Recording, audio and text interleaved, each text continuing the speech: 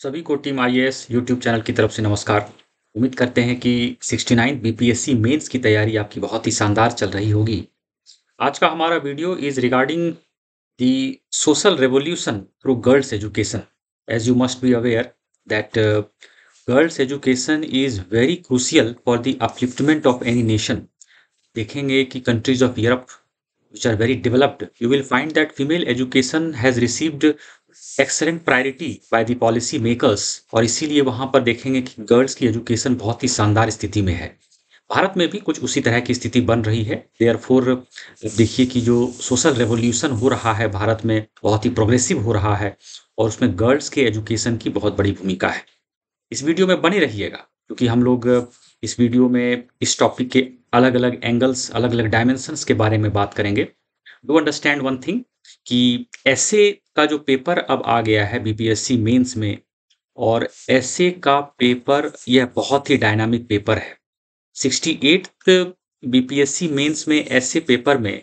Philosophy topic से बहुत सारे क्वेश्चंस पूछ दिए गए थे। तो ज़रूरी नहीं है कि सिक्सटी नाइन्थ बीपीएससी मेंस में भी फिलॉसफी के टॉपिक से ही क्वेश्चंस हैं। हो। इसीलिए हो सकता है सिक्सटी नाइन्थ में कि सोशल इश्यूज़ पे भी टॉपिक्स हों, क्वेश्चंस हों तो सोशल इश्यूज़ के भी जो महत्वपूर्ण डायमेंशंस हैं, जो टॉपिक्स हैं, आपके तैयार होने चाहिए, खास करके अभी जो बहुत ही न्यूज़ में है, आपको पहले से रेडी रखना है। वन मोर थिंग कि जब आप ऐसे लिखते हैं और लिखेंगे तो कट एंड पेस्ट के जो आइडियाज़ हैं थॉट्स हैं, उससे आपको नंबर नहीं मिलेंगे। आपको ओरिजिनल आइडियाज़ जो होते हैं, ऐसे कंटेंट जिसमें डेप्थ हो, आपको नंबर उसी से मिलेगा। इसीलिए यह आर्टिकल मैंने दैनिक जागरण के एडिटोरियल सेक्शन से इसको लिया है, क्योंकि मुझे ऐसा लगा कि इस टॉपिक की एनालिसिस बहुत अच्छे से हुई है। जो राइटर फॉर्मर आईएएस ऑफिसर उनके द्वारा इसको एनालिसिस की गई है और इसके कंटेंट की हाई क्वालिटी है। उससे पहले कि मेन कंटेंट को शुरू करें, अगर आपको हमारा वीडियो अच्छा लगता है, हमारे चैनल के कंटेंट्स अच्छे लगते हैं तो कृपया हमारे चैनल को सब्सक्राइब करें। बेल आइकन को प्रेस करें। So let's start with the video देखिए अलग अलग फ़ील्ड में अगर आप देखिए कि गर्ल्स के एजुकेशन के कारण प्रोग्रेस हो रहा है। सबसे पहले देखिए कि गर्ल्स के एजुकेशन के बारे में बात करें तो in the field of education देखिए बहुत ही अच्छा हो रहा है। And this is a very good news एक डेवलपिंग कंट्री जो कि एस्पायर कर रहा है to become a developed country on the lines of countries of Europe ये ज़रूरी है कि girl education is receiving the top priority and this is a very good news कुछ ही साल पहले की बात करें तो girls were considered weaker than boys ये जो पेट्रियार्की माइंडसेट होता है, वह हावी था समाज पर, इसीलिए ऐसा समझा जाता था कि girls are weaker than boys और इसी कारण से गर्ल्स को जो है होम साइंस पढ़ने पे ज़्यादा ज़ोर दिया जाता था पेरेंट्स के द्वारा रादर देन साइंस और मैथमेटिक्स यानी कि ऐसे सब्जेक्ट्स पे ज़ोर दिया जाता था पढ़ने के लिए, जो कि एक पैट्रियार्की माइंडसेट को जस्टिफाई कर सके और इसीलिए साइंस पढ़ने नहीं दिया जाता था गर्ल चाइल्ड को। लेकिन now this situation is changing and it is changing very rapidly this is a very good news अब आप देखिए कि साइंस और मैथमेटिक्स का जो फ़ील्ड है गर्ल्स को एजुकेशन परस्यू करने के लिए अब उसके लिए स्ट्रॉन्ग इनिशिएटिव्स लिए जा रहे हैं specially by parents and family और इसमें एक अच्छी बात क्या है girls are performing better than boys ये एक बहुत ही अच्छी चीज़ है। और इसमें देखिए कि गवर्नमेंट अगर चांस देती है गवर्नमेंट अगर मौका देती है गर्ल्स एजुकेशन को प्रमोट करने के लिए, कुछ स्पेसिफिक फ़ील्ड में से फॉर एग्जांपल मैथमेटिक्स और साइंस तो आप देखिए कि उसी का यह इम्पैक्ट हुआ है कि result is visible that girls are outperforming boys in the field of education और उसी संदर्भ में बिहार का एक एग्ज़ाम्पल क्लासिक एग्ज़ाम्पल है कि सरकार किस तरह से देखिए कि लगभग 1.2 lakh teachers have been selected this is the first phase ये पहला फ़ेज़ है 2023 में इसकी नियुक्ति हुई है। और इसमें देखिए कि 48 परसेंट जो है वह महिलाएँ हैं। और संख्या की बात करें तो 57,854 teachers are female so this is a very good news for Bihar as well अब देखिए जो लेखक हैं एडिटोरियल सेक्शन बोलता है कि आईआईटीज़ में जो है वहाँ भी गर्ल्स की संख्या लगातार बढ़ रही है। 2014 तक की अगर आप बात करिए तो डेटा ये बोलता है कि वेरियस आईआईटीज़ अक्रॉस इंडिया में गर्ल्स की संख्या वाज ओनली 14 परसेंट लेकिन 2018 में देखिए ये बढ़ के 17 परसेंट हो गया। और अभी जो है अभी यानी कि 2022 तक इसकी बात करें तो यह बढ़ के it is now 20 percent so you can understand कि over the last nine years there is a jump of about six percent in the enrollment of girls in IIT institutes all across India और इस कारण से देखिए कि जो 2017 के का जो डेटा है, उसमें सभी आईआईटीज में अगर संख्या बात करें गर्ल्स की तो दैट वॉज़ 995 और अभी यह बढ़ के 3411 that has taken place so this is a very good news और इसमें देखिए, एक चीज़ जो फैक्ट यह है कि साउदर्न स्टेट्स जो है, वहाँ पर प्रोग्रेस बेटर है compare to states of North India और specially Mumbai no wonder therefore कि आप वेरियस सोशल इंडिकेटर्स की जब बात करते हैं तो southern states are far better than states of north India और इसका एक सबसे बड़ा मेजर फैक्टर जो है that is girls education you understand जब गर्ल्स का एजुकेशन बेहतर होता है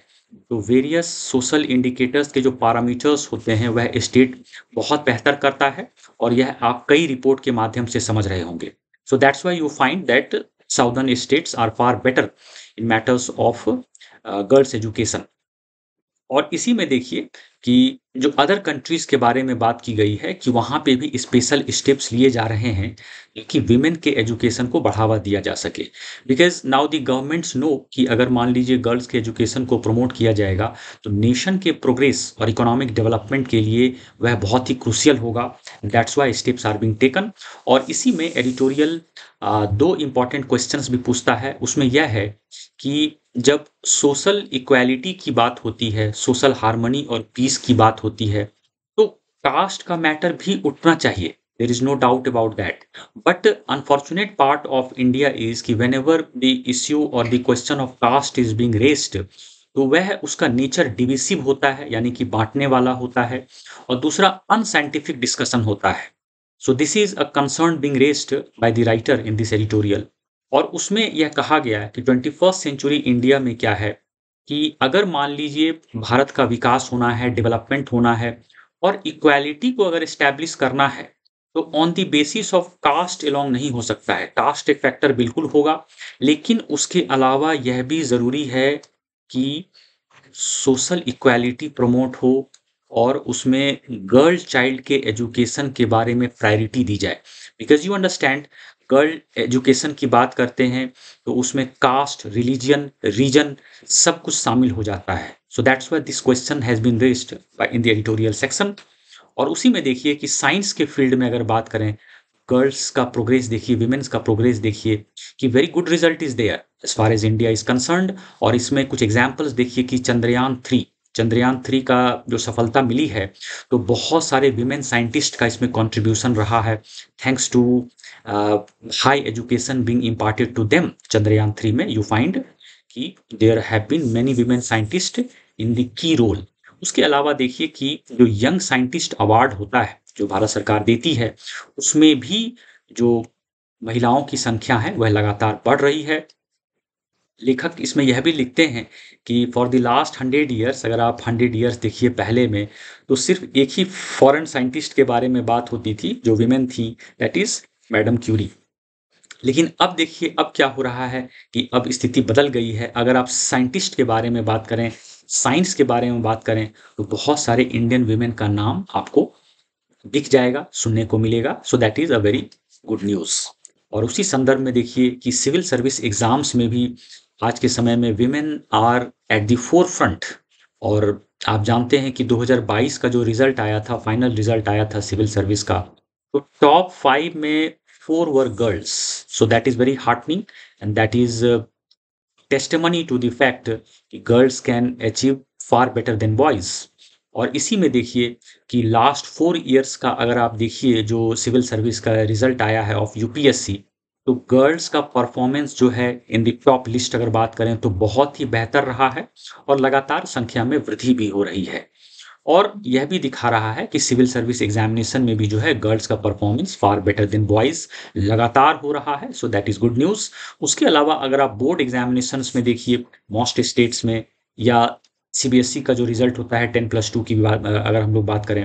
तो वहाँ भी देखिए कि गर्ल्स का परफॉर्मेंस बहुत बेहतर है और यह हमारे फ्यूचर के लिए होप क्रिएट कर रहा है कि girls are doing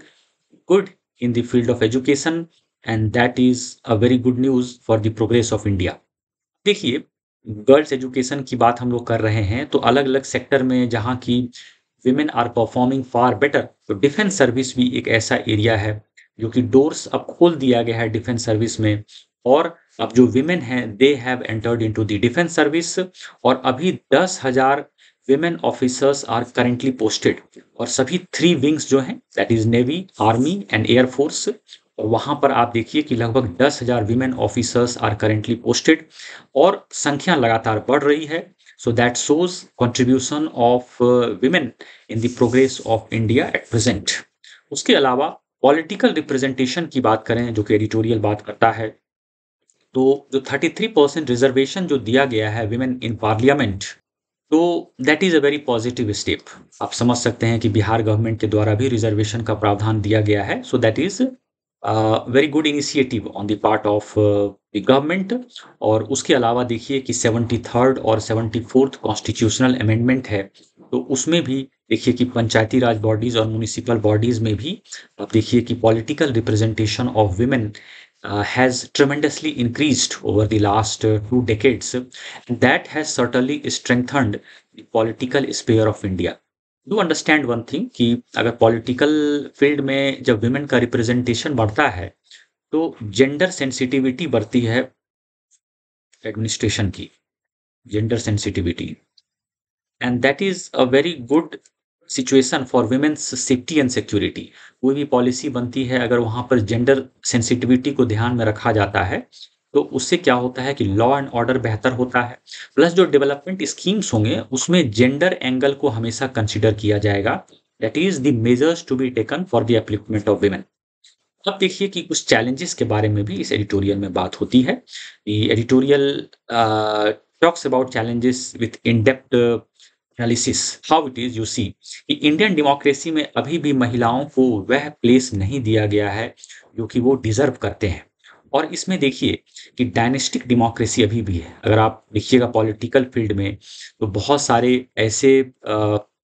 महिला पॉलिटिशियंस हैं जो कि डायनेस्टिक पॉलिटिक्स को रिप्रेजेंट करती हैं। कुछ ऐसी स्थिति भी बननी चाहिए कि women from vulnerable section marginalized section from far flung area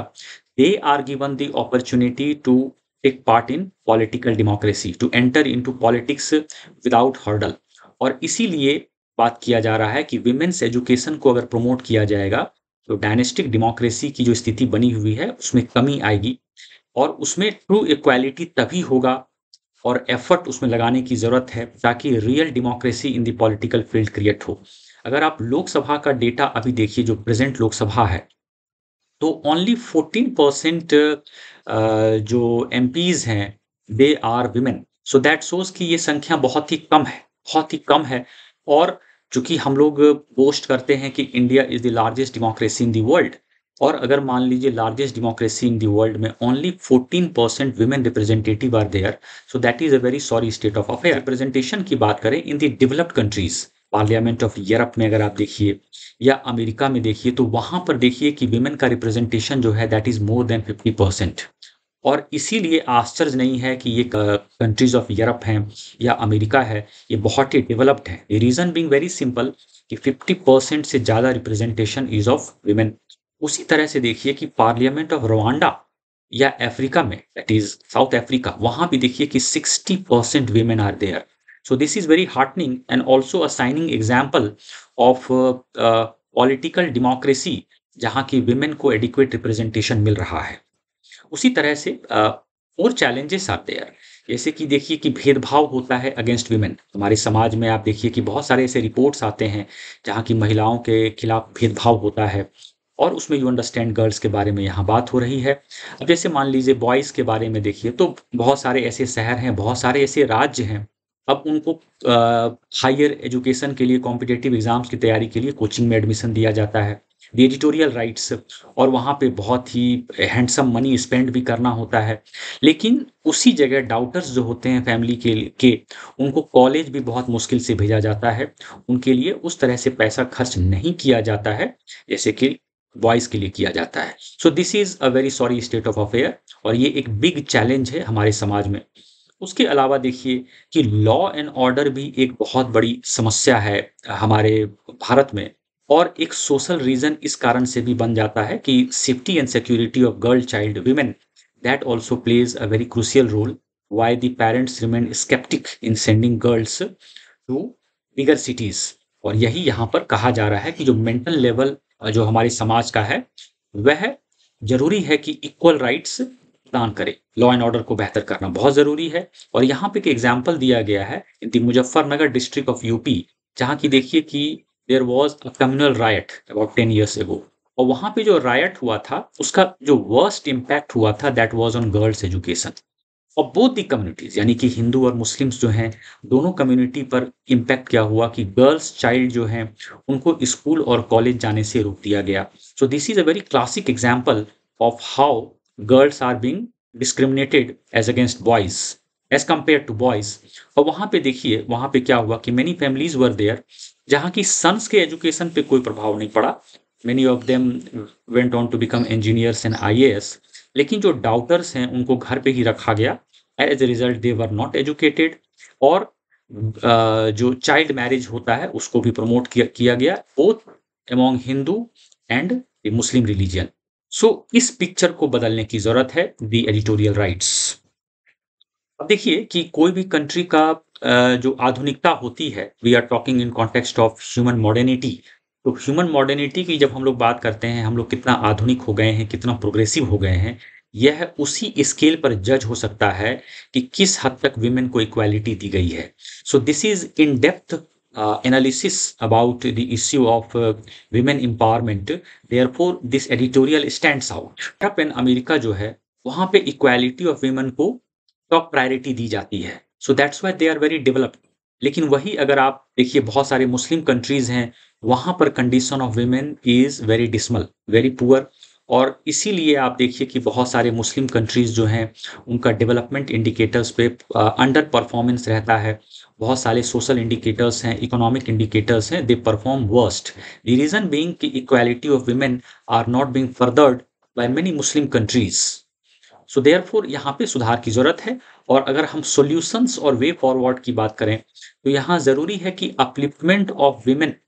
के लिए एक्टिव एफर्ट लगाने की ज़रूरत है एक्टिव रोल की आवश्यकता है step should be taken at the government level you understand कि गवर्नमेंट लेवल की जब हम लोग बात करते हैं तो यहाँ पर सोशल लेवल भी बहुत ज़रूरी है। हम सब कुछ सरकार से ही एक्सपेक्ट नहीं कर सकते हैं कि सरकार ही सारा काम करेगी। जो पेट्रियार्की है माइंडसेट है, उसको चेंज करने की ज़रूरत है। उसके अलावा समाज में जागरूकता की भी बहुत आवश्यकता है। अब देखिए पेट्रियार्की माइंडसेट जो है, उसको खत्म करने की ज़रूरत है। अगर आप देखिए कि एस गोल्स जो है कि sustainable development goal five that talks about gender equality फिर एसडीजी गोल टेन जो है that talks about reducing in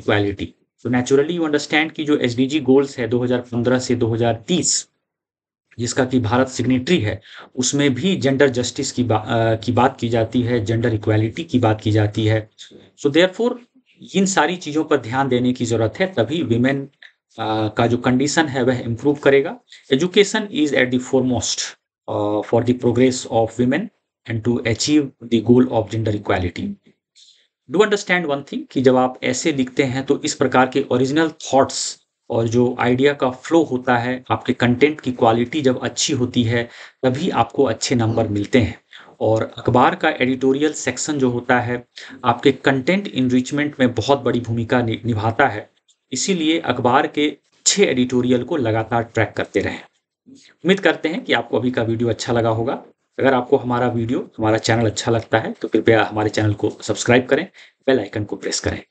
हम अगले वीडियो के साथ आपके समक्ष जल्दी उपस्थित होते हैं। Until then good bye